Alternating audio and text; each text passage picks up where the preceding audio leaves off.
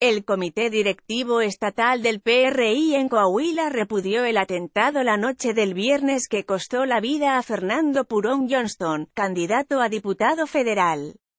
En un comunicado, Rodrigo Fuentes Ávila, presidente del PRI en el Estado, exigió a las autoridades el pronto esclarecimiento de estos hechos y envió sus más sinceras condolencias a la esposa y la madre del candidato fallecido. Fernando Purón nos deja su legado porque fue un hombre bueno un padre de familia ejemplar, un buen amigo, como funcionario un hombre a toda prueba, honesto, trabajador. Hoy Piedras Negras y Coahuila pierden a un gran ser humano, expuso. Anoche el candidato a diputado federal y exalcalde de Piedras Negras por el PRI, Fernando Purón, fue asesinado de un balazo en la cabeza después de asistir a un debate en el auditorio de la Universidad Autónoma de Coahuila. Purón fue atacado por la espalda por un hombre que lo esperaba al exterior del edificio. El atacante solo estuvo unos segundos en el lugar, espero mientras el candidato se tomaba una selfie, se acercó y le disparó directamente a la cabeza. El candidato a la presidencia de la coalición, Todos por México, José Antonio Mid, se pronunció sobre este caso. En su cuenta de Twitter, el aspirante expresó, mi repudio absoluto al asesinato de Fernando Purón, candidato priista a diputado federal en Coahuila. Mi más sentido pésame a sus familiares y amigos.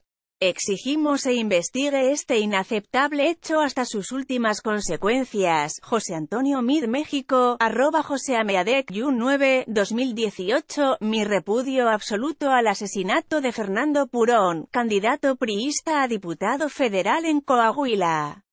Mi más sentido pésame a sus familiares y amigos.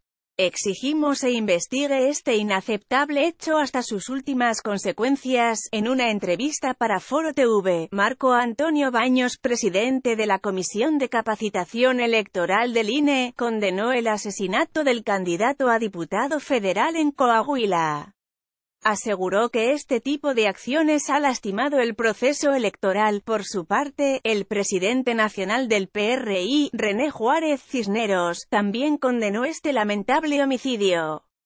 En su cuenta de Twitter escribió, repudiamos enérgicamente el crimen artero de nuestro candidato a diputado federal en el estado de Coahuila, Fernando Purón.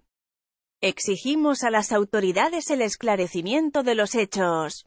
Nuestro pésame sincero para sus familiares y amigos, René Juárez Cisneros, arroba Juárez Cisneros, y 9, 2018, repudiamos enérgicamente el crimen artero de nuestro candidato a diputado federal en el estado de Coahuila, Fernando Purón.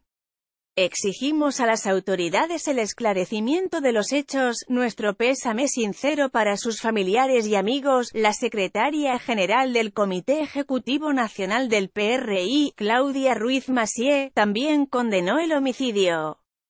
Mi enérgica condena y mi más sentido pésame y solidaridad con los familiares de arroba puro Lamentamos profundamente su muerte y exigimos justicia. Claudia Ruiz Masie, arroba Ruiz Masie, su 9, 2018 en su cuenta de Twitter expresó, mi enérgica condena y mi más sentido pésame y solidaridad con los familiares de Fernando Purón, lamentamos profundamente su muerte y exigimos justicia, con información Comité Estatal del PRI en Coahuila y Foro TVJLR.